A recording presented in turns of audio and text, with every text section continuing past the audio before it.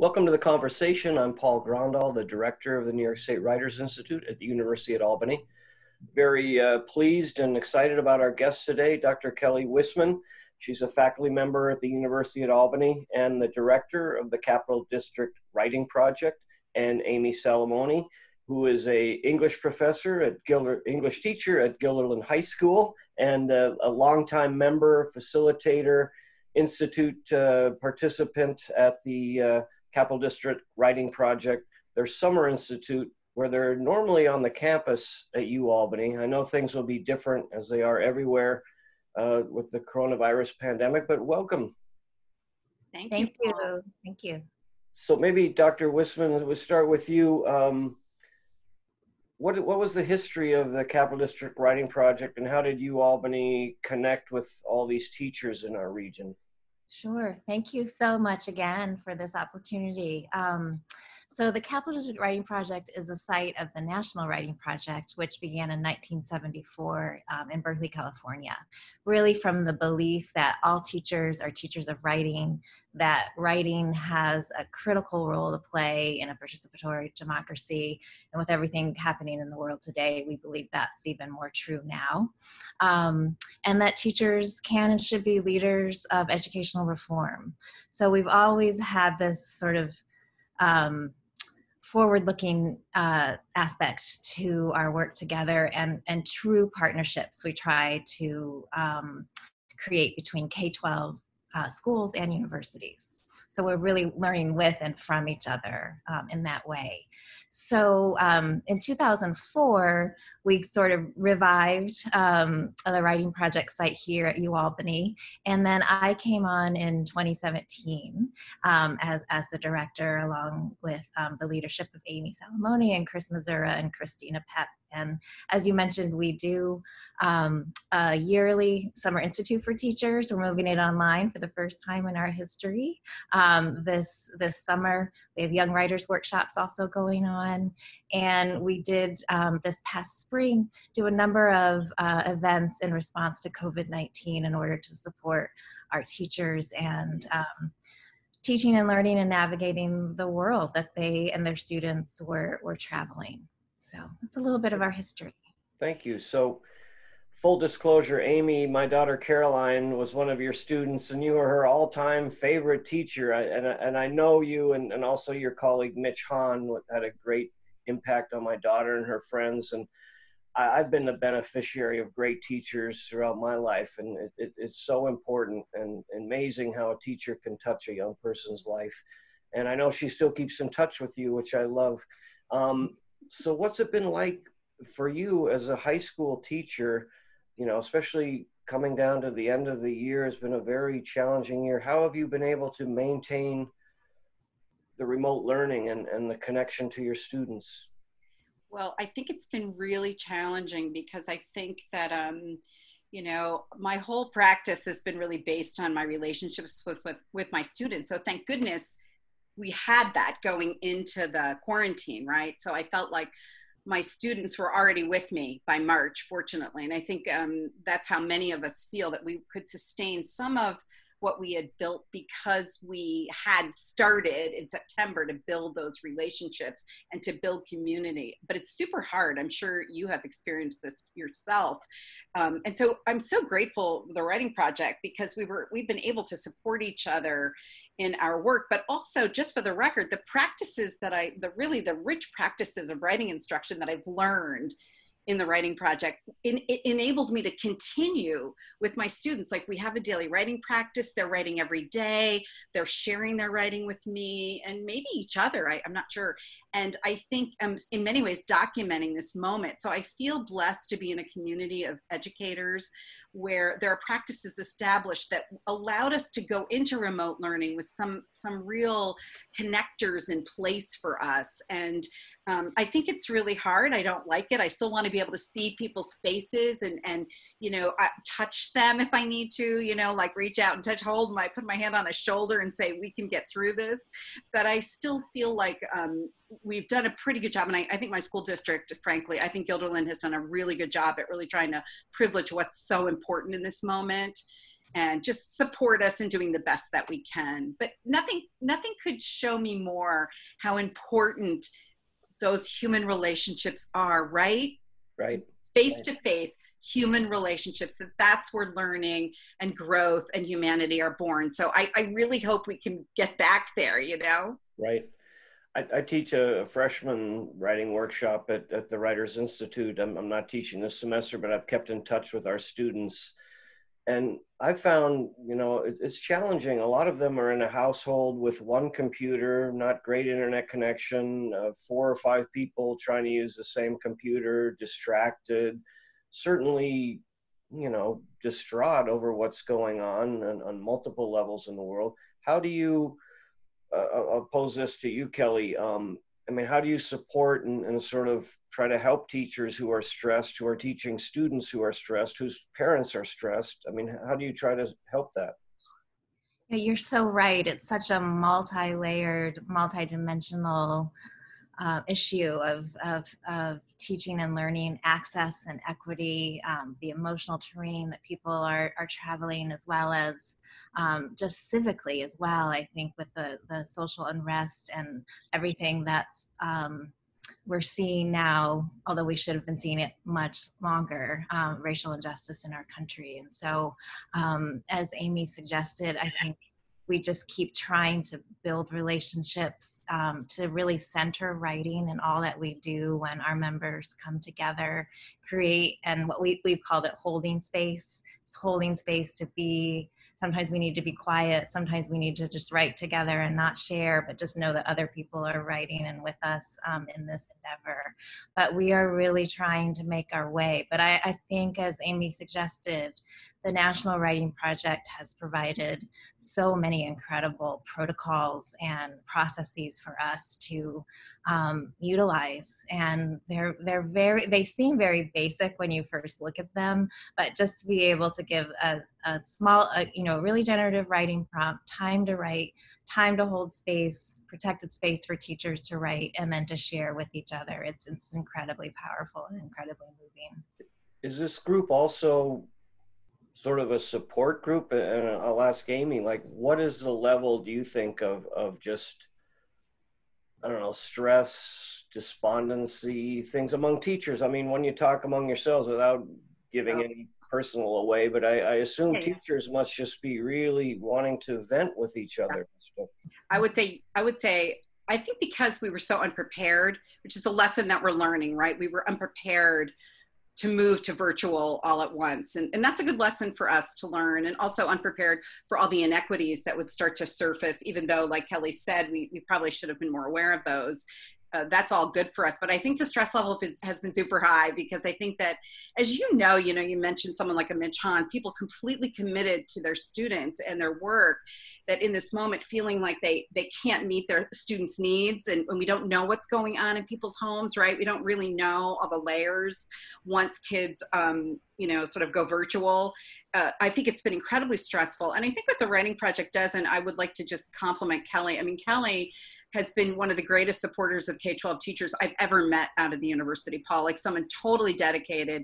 And she was the one who said i, I think we need to support teachers. I think we need to create space for teachers. I think we need to talk about George Floyd's murder. I think we need to provide a place for teachers to meet, to sort of figure things out together. And I would say that's my experience. While I think there's venting, I also think there's a lot of creative genius going on too and, and, problem solving so it's not just it's a place where people can say i'm scared i'm struggling um, what can I do better? How can I be a better teacher? And so I find it completely inspiring to meet these teachers that are, despite their own levels, you know, maybe their own stressors in their own homes, trying to deal with their own children and their own things, that are to- remain totally committed to their their students and what's going on. So I think it's a balance between um, sort of having a place to say I'm I'm I'm worried about what's happening and what I'm doing in my virtual classroom, and also doing creative genius work, if I can call it that, just amazing things happening. And I think the writing project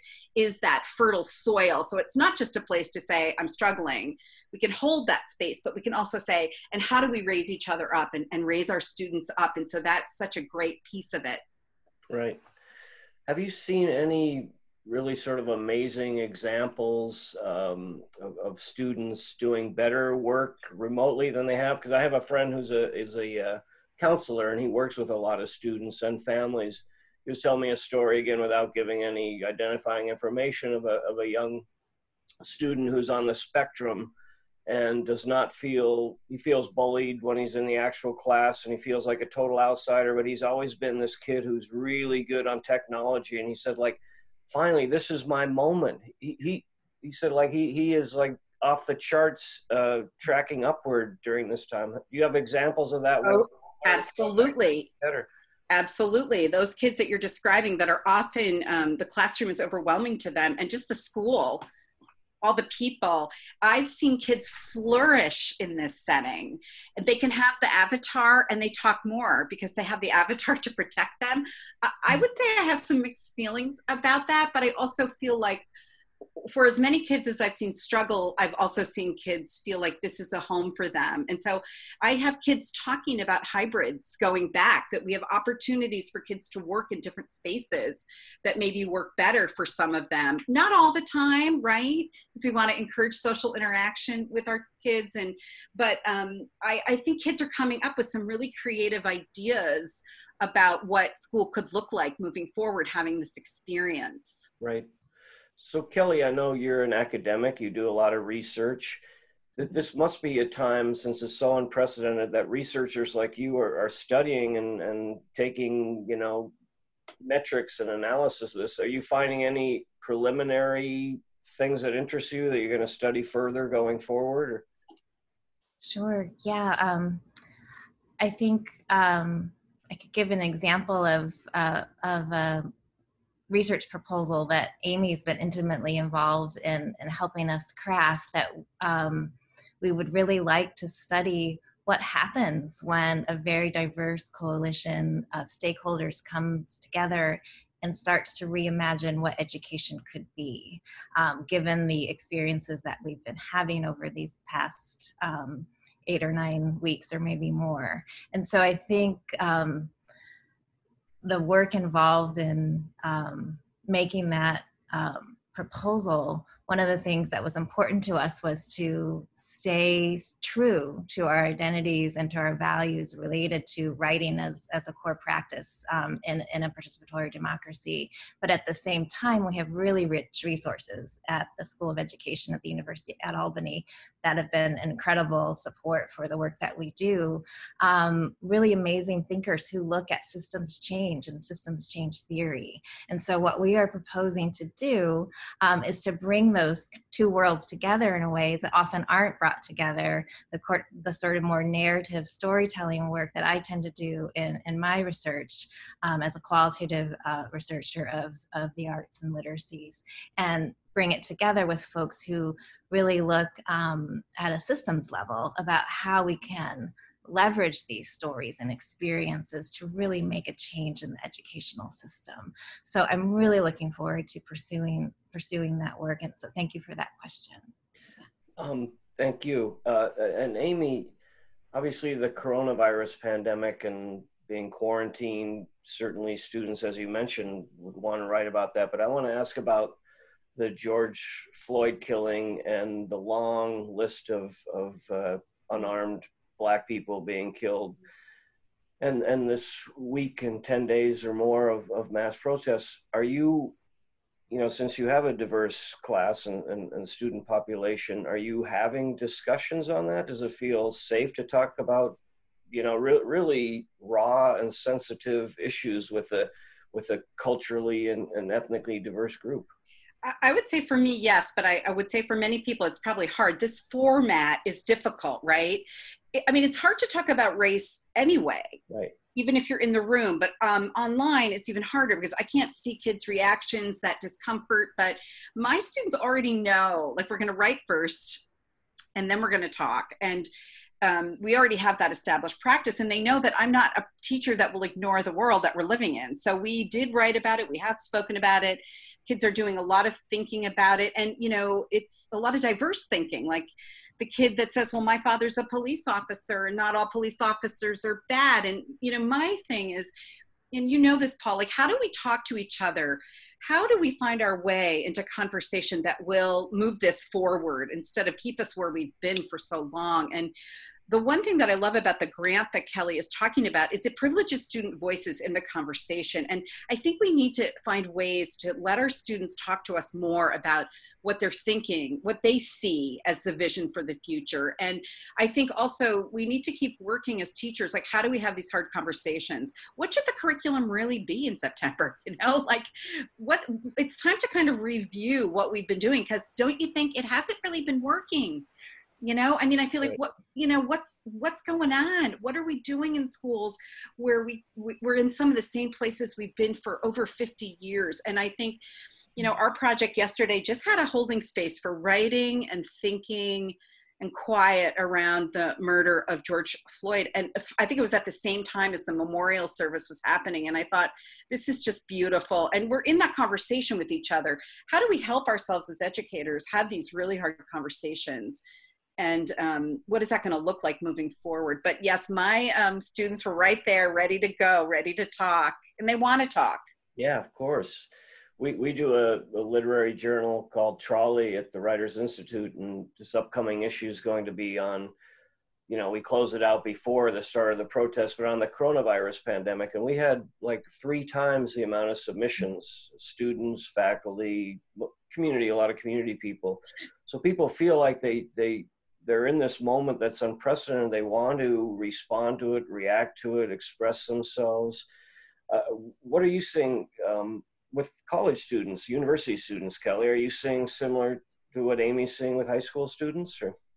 I am. I am to a certain degree. I have to say, I, was on sabbatical this past spring, so I wasn't sort of as intimately involved um, as my colleagues were, who needed to you know, change everything mid-semester and, and be there for students, many of whom had multiple people in their families affected by COVID-19 and lost them. And so it has very much, um, you know, caused us as as faculty to as faculty and college professors to really step back and and sort of ask the questions that Amy's asking like what are we really doing here and where are we being supportive and what are the texts that we're assigning and what is going to be meaningful to them in this time? And I think this what you're noticing Paul about that rise in um, uh, of submissions I feel it too um, in in thinking through the work of, of the of the writing project that the the amount of programming that we did this past spring is really unprecedented for us. We were we we sponsored a six to seven week series where we we met and we had an incredible amount of people who participated, not just in the events themselves from all over the state, really, um, but also the amount of our teacher leaders who co-facilitated those with us and so um, we just saw the depth and the breadth of the talent and the expertise and what Amy calls the creative genius of our teachers. And it's been as exhausting as it was, just invigorating um, to see how much people want to use writing as the place to work out their ideas and to be with each other and to um, try to affect change. And we, we, we see, we're still seeing it as powerful and as painful as yesterday's gathering was um, in response to the murder of George Floyd. Um, it was absolutely necessary, absolutely vital. And as a community, as a K-12 community in partnership with the university, I can't think of anything else we should have been doing. There's more to do, obviously, but we needed to come together and we needed to write. And I think from there, we we begin to, to grow and to realize what are our next steps together. Great. And can you talk about one one of your your big culminating events for the year is in the summer and normally sure. you're on the University at Albany campus with students and teachers and so what will it look like this summer? Uh, yeah, it's going to be a lot different. it's going to be a lot different, but um, we're committed to seeing it through. Um, it's been a little challenge, as, as you might know, Paul, with um, all the things that are happening at the university with being shut down there's a lot of things that are shut down not just the um, not just the buildings. And so trying to navigate that has been um, has been challenging but we were committed to doing it. And so we'll have a two week summer institute uh, for teachers coming up in july. And um, we also have a week of, of workshops for kids as well um, um, in the summer. And we're actually offering three separate workshops for kids, and I might ask Amy to speak a little bit uh, to those um, and how we're running those. But I'll just say that the first one is called Writing Like an Artist, and that's going to be for um, elementary um, school kids, and so they'll be using picture books and different types of of of art and art projects to explore the creative dimensions of writing. The second one is uh, workshop sort of back by popular demand. It's one that we offered last summer called Create Your Own World. Um, and so kids create um, um, through writing and also through 3D models fictionalized depictions of, of different worlds. And Amy can speak to in a second, I think, how amazing those projects were last year. And I can't even imagine how more amazing they'll be this year with everything that kids are thinking about with the, the state of the world. And then finally, we'll have a workshop called um, creative writing for the college essay. And that all of these are, are taught by incredibly talented and experienced writing project teachers who just bring their love of writing um, to their development and facilitation of these um, of these workshops. But we did think it was it was not an easy decision uh, to come to in terms of do we offer these online because as amy mentioned relationships are so important and we have not met the, many of these kids that will be have will be signing up. So I wondered, Amy, would you mind speaking a little bit to those young writers workshops and our thinking related to that? Well, I think we, I mean, we did, we do a lot of talking, Paul, like processing, like what do we think? And I think we decided as a group that we would offer them and we'll see if kids sign up but like kids i think are want these things right i think kids want to um, come together and work together in fact i don't know if you remember but one of the kids who did the create your own world presented she read a piece at the Writers Institute in the fall. I mean, she's going to change the world by herself. She's amazing. Right. And we have kids like that in the Capital District, and they want those creative outlets. And the teachers were so willing to go with it and continue, even though they're probably exhausted working online, just to be with kids and writing and creating together. And so, while I think um, for both our projects this summer, it will be new to us, people were so committed to doing the work. And I think there'll be kids that really want to be creating this summer because I think this is a moment, right, for creating and, and creating with others. And so we'll learn a lot,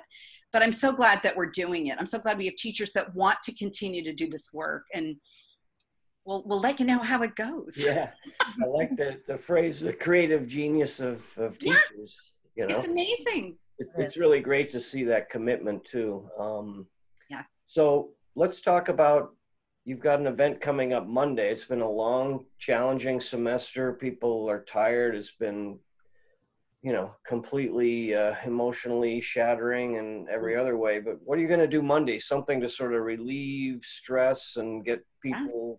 Talk about it. Yoga and writing. And- we have three amazing teachers um, in our project who are going to offer a yoga pose, a poem, and a prompt for writing. Nice and there's also going to be a place to record some some things as um, so record some writing if people want to in those moments and so it'll be it's sort of it's sort of interesting. I've been thinking a lot about the breathing right? Breathing breathing in the time of covid in the time of george floyd and so there'll be time for breathing together. Posing poetry and writing.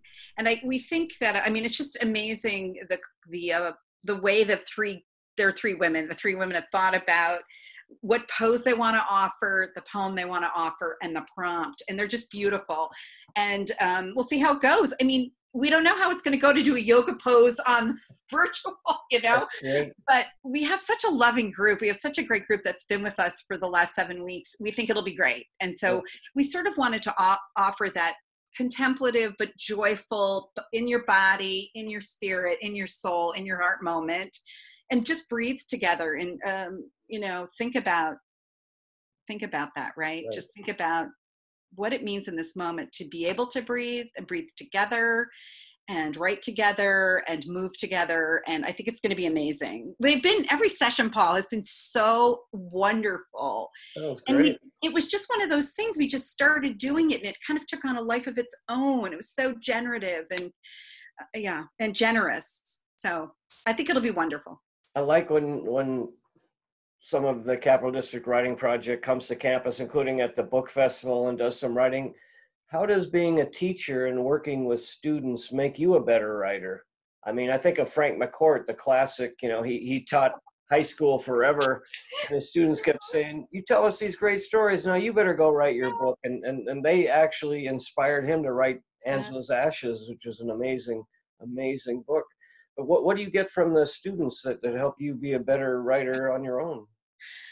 Well, I just have to say, uh, I'm not a, the best person to ask. I don't necessarily think I demonstrate the writers we have among us. Like I think I sent you a piece that Alicia Wine wrote Yeah. just about the, you know, pre-COVID, what it was like to teach, where you now have to think about an active shooter Right. coming into your building. And we have, i think that um, the teachers in the writing project who write with their students, uh, all, of us are just better writers because our students are amazing writers, right? So we Yeah. get to see, we get to struggle in the muck with them about writing those first drafts and revision and getting to the heart of what it is we really want to say. So I think if we're committed to that work, I think most of us are, we can see like I've just been working on a poem about breathing because of what I've been been experiencing with my colleagues and I would say I don't write unless I'm with the writing project or with my students. So it's given me the opportunity to do some of my own writing and again it just makes me a better teacher, right? When I'm in my own I'm sure you you know as a writer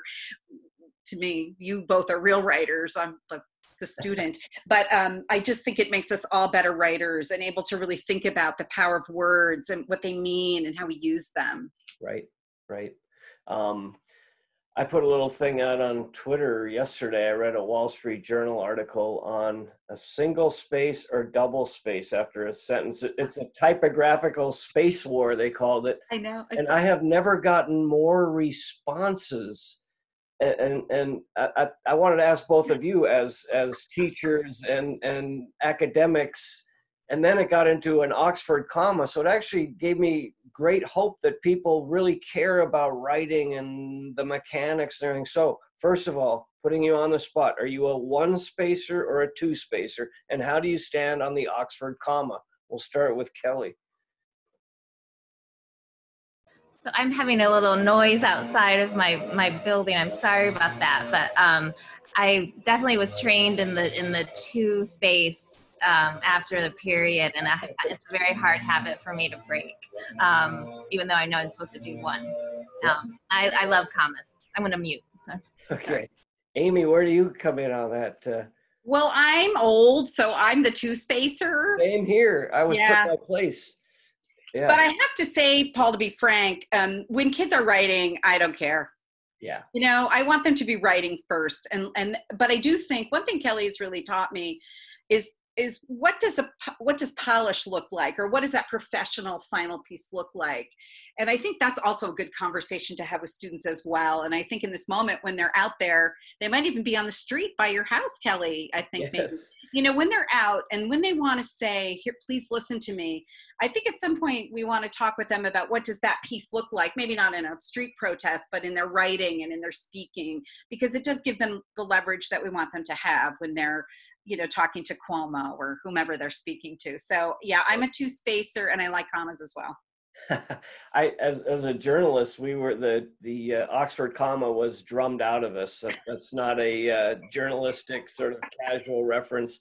If I'm doing a you know term paper or something like that, I was the Oxford comma. But I was a two spacer, and now all the people are jumping on me like you're old, you're you're thir- 20 years out of date. So.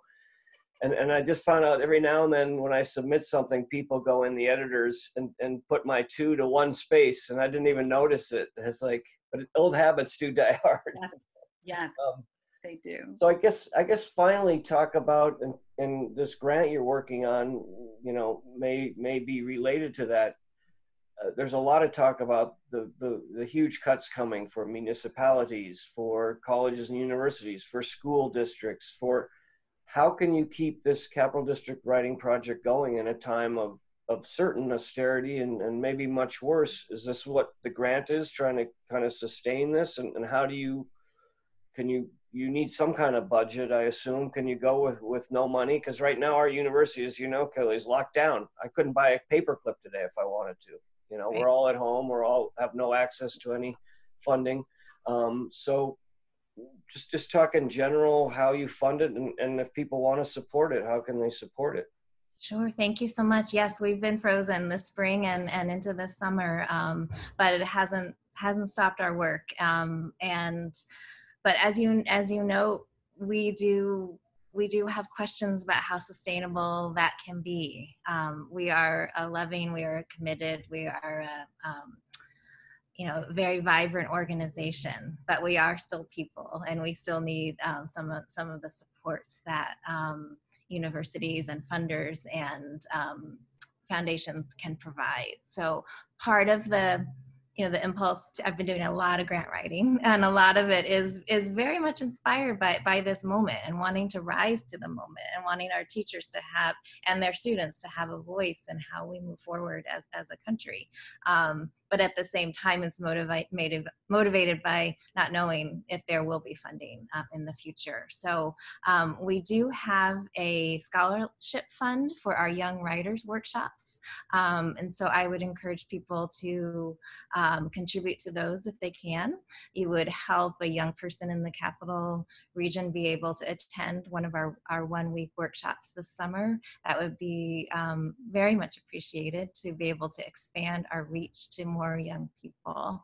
Um, and reach out to us if there are other ways that you feel like you want to contribute, either monetarily or through being a guest speaker or co-hosting events. Um, we we are committed to to thriving and and to um, contributing to the broader capital region in whatever way we can with whatever kinds of supports we can we can muster. That's great. So we'll we'll include the link to uh, the university of albany website with the capital district writing project. Is that where people should go to find out if they want to make a donation or more information Absolutely. And we do have a special link just to contribute to the scholarship fund. So I'm happy to provide that to you as well. Okay. Yeah yeah if, if you want to email me that that would be great um, anything you want to conclude with amy uh, you know i mean i, I just wanted to what's that I wanted to tell you one funny thing. So, you know, I have this writing practice with my students, and in the beginning of uh, the pandemic, when we were home, I would give them these prompts. You know, like uh, they were just kind of silly prompts. I don't know what they were. I would always offer a prompt, and finally, they're like, "Look, can we just write about the pandemic?" And I said, yes, you can. So I just thought, I just think it's so funny how even in my teacher world, I'm like, but this is my prompt. You know, I was, I needed them to still guide me. And I just think our students, which again, I want to say are privileged in this, in this grant that we're hoping we get, they have so much to teach us. And I, I just hope that we're open in this moment to really hearing what our young people are telling us about what they need in their world. And I, I hope we can listen to people like Caroline better you know and I, i'm just grateful that you are here talking with us thank you and and um, as a parent you know our daughter caroline is now 25 she graduated seven years ago but she still talks about your classes amy and the books you read and what she wrote in that class and i know she keeps in contact with you. So that's that's what great teachers can be. I, I still keep in touch with some of my professors from undergraduate and graduate school. It's just a great gift. So we're really grateful to Amy Salamone, uh, English teacher at Guilderland High School and a facilitator and member of the Capital District Writing Project, Dr. Kelly Wissman, a University of Albany professor and director of the Capital District Writing Project. Thank you so much for being on the conversation. Thank you, Paul. All right. Thank you. Bye. Thank you. Bye-bye. Thanks.